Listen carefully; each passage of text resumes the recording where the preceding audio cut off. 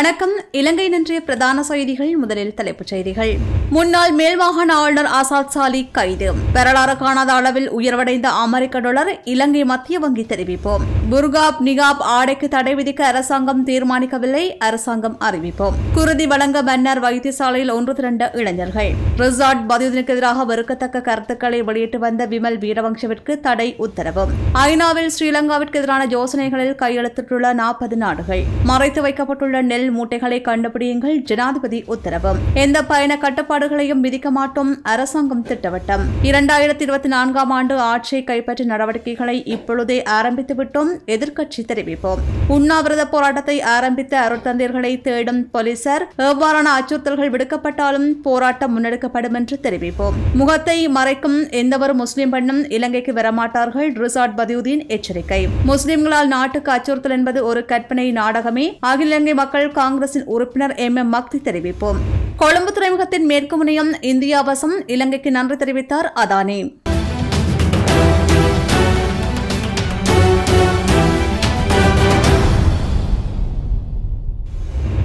முன்னாள் மேல்மாகாண ஆளுநரும் தேசிய ஐக்கிய முன்னணியின் தலைவருமான அசாத் சாலி சற்று முன்னர் கைது செய்யப்பட்டுள்ளார். கொள்ளுப்பட்டியில் வைத்து அவர் சற்று நேரத்திற்கு முன்னர் கைது செய்யப்பட்டுள்ளதாக தெரிவிக்கப்படுகின்றது.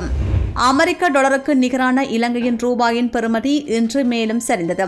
அந்த வகையில் இந்த ஆண்டு முதல் முறையாக டாலர் ஒன்றின் விற்பனை விலை இருநூறு ரூபாவை தாண்டியது. மத்திய வங்கி இன்று வெளியிட்ட நாணய மாற்று விகிதங்களின்படி டாலர் ஒன்றின் விற்பனை விலை இருநூறு ரூபாய் மற்றும் ஆறு காசுகள். அதன்படி இந்த ஆண்டு டாலருக்கு எதிராக ரூபாய் ஐந்து ஏழு சதவீத புள்ளிகள் சரிந்துள்ளதாக தெரிவிக்கப்படுகிறது தலைமன்னர் பகுதியில் ஏற்பட்ட புகையிரத விபத்து காரணமாக காயம் அடைந்தவர்களுக்கு குருதி வழங்குவதற்கான குருதி தேவை தொடர்பாக வைத்தியசாலை நிர்வாகம் கோரிக்கை வழங்கியதைத் தொடர்ந்து மன்னரின் பல பகுதிகளிலிருந்தும் இளைஞர்கள் யுவதிகள் என்று பலரும் குருதி வழங்கி வருகின்றார்கள். விபத்தில் இருபத்தி ஐந்துக்கும் மேற்பட்டவர்கள் காயமடைந்த நிலையில் நூற்றுக்கும் மேற்பட்ட இளைஞர்கள் யுவதிகள் ரத்தம் வழங்குவதற்கு தன்னார்வத்துடன் வருகை தந்த போதிலும் ஊழியர்கள் பற்றாக்குறை மற்றும் வைத்தியசாலையின் இன்றைய அவசர நிலை காரணமாக குறிப்பிட்ட அளவுக்கு ரத்தமே பெற்றுக்கொள்ளப்பட்டு ரத்தம் சேகரிக்கும் பணி தற்காலிகமாக நிறுத்தப்பட்டுள்ளது. இருப்பினும் இன்னும் ரத்த தேவை காணப்படுவதனால் நாளைய தினமும் மன்னார் பொது வைத்தியசாலை ரத்த வங்கியில் குருதி வழங்க முடியும் என்றும் தெரிவிக்கப்பட்டுள்ளது. முன்னதாக தலைமன்னர் பகுதியில் இடம்பெற்ற விபத்தில் காயமடைந்தவர்களுக்கு சிகிச்சை அளிப்பதற்கு தேவையான குருதி பற்றாக்குறை ஏற்பட்டுள்ளதாக வைத்தியசாலை வட்டாரங்கள் தெரிவித்திருந்தன. இதனால் அந்த பகுதி வைத்தியசாலைக்கு அருகில் இருக்கக்கூடியவர்கள் குருதி கொடை வழங்குவதற்கு முன்வருமாறு கோரிக்கை விடுத்திருந்தமை குறிப்பிடத்தக்கது. புர்கா மற்றும் நிகாப் ஆகிய முஸ்லிம்களின் ஆடைகள் மீது தடை விதிக்கும் எந்த தீர்மானத்தையும் அரசாங்கம் எடுக்கவில்லை என்று வெளிவிவகார அமைச்சர் இன்று மாலை அறிவித்துள்ளார். வெளிவிவகார அமைச்சின் செயலாளர் அட்மினல் ஜெயநாத கொலம்பகே இதனை தெரிவித்துள்ளார். அமைச்சரவை கூட்டம் நேற்று தினம் நடந்தபோது பொதுமக்கள் பாதுகாப்பு அமைச்சர் அட்மிரல் சரத் வீரசேகரவினால் இந்த தடை பத்திரம் சமர்ப்பிக்கப்படும் என்று முன்னர் தெரிவிக்கப்பட்டிருந்தது. இருப்பினும் நேற்று அப்படியொரு பத்திரம் சமர்ப்பிக்கப்பட்டிருக்கவில்லை. இந்நிலையில் மேற்படி அட்மிரல் ஜெயநாத கொலம்பகையின் அறிவிப்பு வெளியாகியிருக்கின்றமை குறிப்பிடத்தக்கது. இதேவேளை புர்கா மற்றும் நிகாப் மீதான தடையை அமல்படுத்துவது தொடர்பான முடிவு கலந்தாலோசிக்கப்பட்ட பின்னரே தீர்மானங்கள் எடுக்கப்படும் என்று அரசாங்கம் இன்று தெரிவித்துள்ளது. இந்த விடயம் தொடர்பாக அரசாங்கம் அவசரப்படாது என்று அமைச்சரவை செய்தி தொடர்பாளர் அமைச்சர் கெஹலிய ரம்புக்கொல செய்தியாளர்களிடம் தெரிவித்தார். இன்று நடைபெற்ற வாராந்த அமைச்சரவை ஊடக சந்திப்பின் போது ஊடகவியலாளர்கள் எழுப்பிய கேள்விக்கு பதிலளித்த அவர் தேசிய பாதுகாப்பு தொடர்பாக புர்கா மற்றும் நிகாப் ஆகியவற்றை தடை செய்ய முடிவு செய்யப்பட்டுள்ளதாக தெரிவித்தார். எவ்வாறாயினும் ஆலோசனைக்கு பிறகு இறுதி முடிவு எடுக்கப்படும் என்றும் இந்த விடயத்தில் பொதுவாக ஒருமித்த முடிவு விரைவில் எட்டப்படும் என்றும் அமைச்சர் மேலும் தெரிவித்தார். முன்மொழியப்பட்ட தடைகளின் கீழ் புர்கா மற்றும் நிகாப் ஆகியவை பரிசீலிக்கப்பட்டு வருவதாகவும் அவர் மேலும் விளக்கினார். இதேவேளை அமைச்சரவையில் கலந்துரையாடப்பட்டு நாடாளுமன்றக்கு சென்ற பின்னர் நிறைய அலுவலக வேலைகள் செய்யப்பட இருக்கின்றது. எனவே இது தொடர்பில் எவ்வாறு பிரதிபலிக்கின்றது என்பதை பொறுத்திருந்து பார்ப்போம் என்று பொதுமக்கள் பாதுகாப்பு அமைச்சர் சரத் வீரசேகர தெரிவித்திருக்கின்றமை குறிப்பிடத்தக்கது. இலங்கைக்கு எதிராக ஐக்கிய நாடுகள் மனிதுரிமைகள் பேரவையில் முன்னகர்த்தப்படவுள்ள யோசனையில் நாற்பது நாடுகள் கையெழுத்திட்டுள்ளதாக தெரிவிக்கப்படுகின்றது. எனினும் இதில் பனிரண்டு நாடுகளே பிரேரணையின் வாக்கெடுப்பில் வாக்களிக்கும் தகுதியை கொண்டுள்ளதாக கூறப்படுகின்றது. இந்த யோசனையின் இறுதி வரைவு ஏற்கனவே இலங்கை அரசாங்கத்திடம் சமர்ப்பிக்கப்பட்டுள்ளது. எவ்வாறாயினும் அதனை இலங்கை அரசாங்கம் நிராகரித்துள்ளது. யோசனைக்கு ஆதரவளித்துள்ள நாடுகள் இணை அனுசரணையாளர்களாகவும் ஆதரவு நாடுகளாகவும் செயற்படவுள்ளன. இந்நிலையில் எதிர்வரும் இருபத்தி இரண்டாம் திகதி இலங்கைக்கு எதிரான யோசனை வாக்கெடுப்பு விடப்படவுள்ளதாக தெரிவிக்கப்பட்டுள்ளது. தமிழ் மற்றும் சிங்கள புத்தாண்டுக்காக போக்குவரத்து கட்டுப்பாடுகளை விதிப்பதற்கான எந்த தீர்மானங்களும் மேற்கொள்ளப்படவில்லை என்று அரசாங்கம் அறிவித்துள்ளது. அமைச்சரவையின் இணை பேச்சாளர் ரமேஷ் பத்ரன இதனை தெரிவித்துள்ளார். பொதுமக்கள் தமக்கு தாமே பயண கட்டுப்பாடுகளை ஏற்படுத்திக் கொள்ளாமல் கொரோனாவை முழுமையான கட்டுப்பாட்டுக்குள் கொண்டுவர முடியாது என்றும் அவர் தெரிவித்துள்ளார். பொதுமக்கள் சுகாதார வழிகாட்டுதல்களை பின்பற்றுவதுடன் சமூக இடைவெளியையும் பின்பற்ற வேண்டும். அத்துடன் தமது பயண கட்டுப்பாடுகளையும் கட்டுப்படுத்திக் கொள்ள வேண்டும் என்றும் அமைச்சர் கோரிக்கை விடுத்துள்ளார். நாடாளுமன்ற உறுப்பினர் ரிசார்ட் பதியுதீனுக்கு அபகீர்த்தி ஏற்படுத்துகின்ற விதத்தில் பொய்யான மற்றும் வெறுக்கத்தக்க கருத்துக்களை வெளியிடுவதை தடுக்கும் வகையில் அமைச்சர் விமல் வீரவங்சவிற்கு கொழும்பு மாவட்ட நீதவான் அருண அலத்கே இன்று உத்தரவு பிறப்பித்துள்ளார். அவ்வாறான கருத்துக்களை வெளியிடுவதை தடுக்கும் வகையில் மூன்று தனியார் தொலைக்காட்சி நிறுவனங்களுக்கும் கொழும்பு மாவட்ட நீதவான் இன்று இந்த தடை உத்தரவை பிறப்பித்துள்ளார். மேலும் எதிர்வரும் முப்பத்தி ஓராம் தேதி பிரதிவாதிகள் நீதிமன்றத்தில் ஆஜராகுமாறும் கொழும்பு மாவட்ட நீதவான் அருண அலத்கே தெரிவித்துள்ளார். பாராளுமன்ற உறுப்பினர் ரிசார்ட் பதியுதீன் தாக்கல் செய்துள்ள மனு இன்று பரிசீலனைக்கு எடுத்துக் கொள்ளப்பட்ட போது சட்டத்திரணி ருஷி அபி முன்வைத்த விடயங்களை ஆராய்ந்த நீதவான் எதிர்வரும் முப்பதாம் தேதி வரை அமல் இருக்கின்ற வகையில் இந்த தடை உத்தரவை பிறப்பித்துள்ளார். அமைச்சர் விமல் வீரவங்ஷ கடந்த ஒன்பதாம் தேதி ஆற்றிய உரையின் மூலம் தனது நட்பெயருக்கு களங்கம் ஏற்பட்டுள்ளதாக தெரிவித்தே நாடாளுமன்ற உறுப்பினர் ரிசார்ட் பதியுதீன் இந்த மனுவை தாக்கல் செய்திருந்தமை குறிப்பிடத்தக்கது. தற்போது மறைத்து வைக்கப்பட்டுள்ள நெல் தொகையை தேடி சுற்றி வளைப்புகளை முன்னெடுக்குமாறு ஜனாதிபதி கோத்தபாய ராஜபக்ஷ வர்த்தக மற்றும் விவசாய அமைச்சர்களுக்கு அறிவுறுத்தியுள்ளார். ஜனாதிபதியின் தலைமையில் நேற்று இடம்பெற்ற அமைச்சரவை கூட்டத்தில் இந்த அறிவுறுத்தல் விடுக்கப்பட்டுள்ளது. தற்போது நிலவுகின்ற சூழ்நிலையில் அரிசி இறக்குமதி செய்யாமல் இருக்க இதன்போது தீர்மானிக்கப்பட்டுள்ளது. இதற்கு பதிலாக நெல் சந்தைப்படுத்தல் சபையில் கையிருப்பில் உள்ள நெல்லை அரிசியாக மாற்றி சதோச வர்த்தக நிலையங்களூடாக பகிர்ந்தளிப்பதற்கு நேற்று தீர்மானிக்கப்பட்டதாக தெரிவிக்கப்படுகின்றது. அவ்வாறாயினும் அரிசி விலையில் அதிகரிப்பு ஏற்படுமாயின் அரிசியை இறக்குமதி செய்வதற்கு தீர்மானிக்கப்பட்டதாக அமைச்சர் மஹிந்த அமர்வில தெரிவித்திருக்கின்றமை குறிப்பிடத்தக்கது. கொழும்பு துறைமுகத்தின் மேற்கு முனையத்தை நிர்மாணிப்பதற்கு தமக்கு சந்தர்ப்பம் வழங்கப்பட்டமை தொடர்பில் இந்தியாவின் அதானி குழு உரிமையாளர் இலங்கைக்கு நன்றி தெரிவித்துள்ளார். இந்த விடயம் தொடர்பில் துறைமுகங்கள் மற்றும் கப்பல்துறை அமைச்சு மற்றும் துறைமுக அதிகார சபை ஆகியவற்றிடம் இருந்து கடிதம் ஒன்றை பெற்றுள்ளதாகவும் அதானி நிறுவனம் தெரிவித்துள்ளது.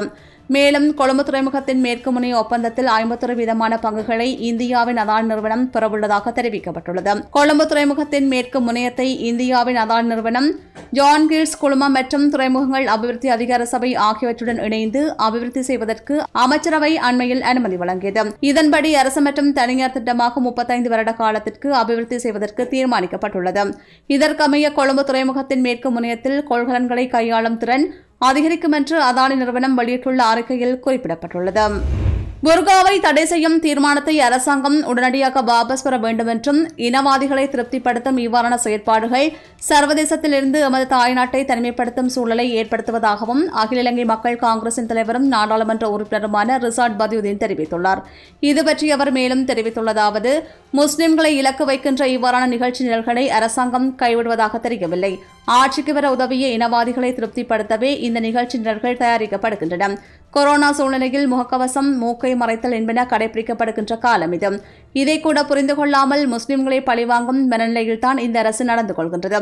அரபு நாடுகளின் நண்பர் என்று கூறுகின்ற இந்த அரசாங்கம் அரபு நாடுகளிலும் முஸ்லிம் உலகிலும் விரும்பப்படுகின்ற ஆடைகளுக்கும் அடிப்படைவாத சாயம் பூசுவதும் விந்தையும் வேடிக்கையாகவும் உள்ளது. ஒரு கலாச்சாரத்தின் நம்பிக்கையில் கை வைக்கும் அளவுக்கு அரசாங்கம் கங்கணம் கட்டிக்கொண்டு செயற்படுகின்றது ஏன்?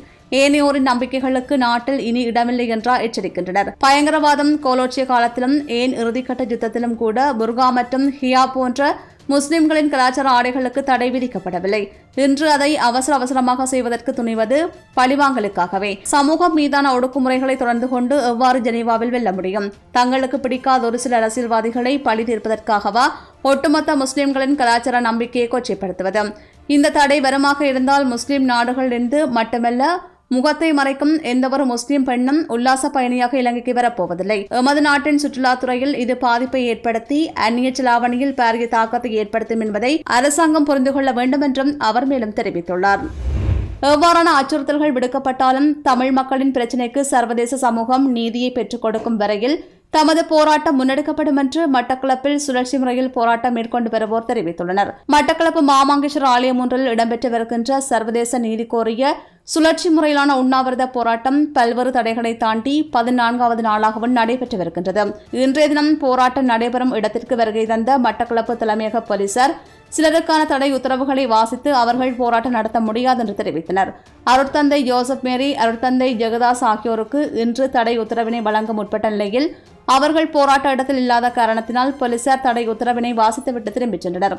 நேற்றைய தினம் குறித்த பகுதியில் போராட்டம் நடத்தியவர்களை அங்கிருந்து அகற்றுவதற்கு போலீசார் முற்பட்ட செய்யப்பட்ட போராட்டம் நடத்தியவர்கள் கடுமையான எதிர்ப்பினை வெளிப்படுத்தியமையினால் அங்கிருந்து அகன்று சென்றனர். இன்றைய தினம் வலிந்து காணாமல் ஆக்கப்பட்டோர் உறவினர்களும் பொது அமைப்புகளின் பிரதிநிதிகள் மற்றும் மகளிர் அமைப்புகளின் பிரதிநிதிகள் இன்றைய பதினான்காம் நாள் போராட்டத்தில் பங்கெடுத்திருந்தமை குறிப்பிடத்தக்கது. தொடர்ச்சியான அச்சுறுத்தல்கள் தம்மை நோக்கி வீசப்படுகின்ற நிலையிலும் தாங்கள் தொடர்ச்சியாக இந்த போராட்டத்தினை முன்னெடுத்து செல்வோம் என்று இங்கு கருத்து தெரிவித்த சமூக செயற்பாட்டாளரும் மகளிர் அமைப்புகளின் முக்கியஸ்தருமான திருமதி ரஜினி பிரகாஷ் தெரிவித்தமை குறிப்பிடத்தக்கது. மியான்மர் ராணுவ ஆட்சியோடு உறவாட வேண்டாம் என்று இலங்கை அரசுக்கு வலியுறுத்தி வடக்கு கிழக்கு ஒருங்கிணைப்பு குழுவின் ஏற்பாட்டில் மன்னர் மாவட்ட சமூக பொருளாதார மேம்பாட்டிற்கான நிறுவனத்தின் தலைமையில் இன்று காலை பதினோரு மணியளவில் மன்னர் மாவட்ட பொது விளையாட்டு மைதானத்தில் அமைதியான முறையில் போராட்டம் ஒன்று இடம்பெற்றது. மன்னர் மாவட்ட சமூக பொருளாதார மேம்பாட்டிற்கான நிறுவனத்தின் குழு தலைவர் ஜார்ஜன் பிகராடோ தலைமையில் குறித்த போராட்டம் இடம்பெற்றது. குறித்த அமைதி போராட்டத்தில் மனிதுரிமை செயற்பாட்டாளர்கள் சிவில் அமைப்புகள் பெண்ணுரிமை செயற்பாட்டாளர்கள் போரினால் பாதிக்கப்பட்ட சமூக பிரிவினர் மற்றும் வடக்கு மாகாணத்தைச் சேர்ந்த பொதுமக்கள் என்று பலரும் கலந்து கொண்டிருந்தனர். குறித்த போராட்டத்தின் போது மியான்மர் ராணுவ ஆட்சியுடன் கொண்டுள்ள அனைத்து விதமான உறவுகளையும் பரிமாற்றங்களையும் இலங்கை அரசாங்கம் நிறுத்த வேண்டும் என்று கோரிக்கை விடப்பட்டமை குறிப்பிடத்தக்கது. இலங்கையை சர்வதேச குற்றவியல் நீதிமன்றத்தில் பாரப்படுத்த வேண்டும் என்று வலியுறுத்தி யாழ்ப்பாணத்தில் ஆரம்பிக்கப்பட்ட சுழற்சி முறையிலான உணவு தருவு போராட்டம் இன்று பதினேழாவது நாளாக தொடர்ந்தும் இடம்பெற்று வருகின்றது. இந்த போராட்டத்திற்கு காணாமல் ஆக்கப்பட்டோரின் உறவினர்கள் அரசியல் கட்சிகளின் பிரதிநிதிகள் சிவில் அமைப்பினர் மத தலைவர்கள் என்று பலரும் கலந்து கொண்டு தமது ஆதரவை வழங்கி வருகின்றனர்.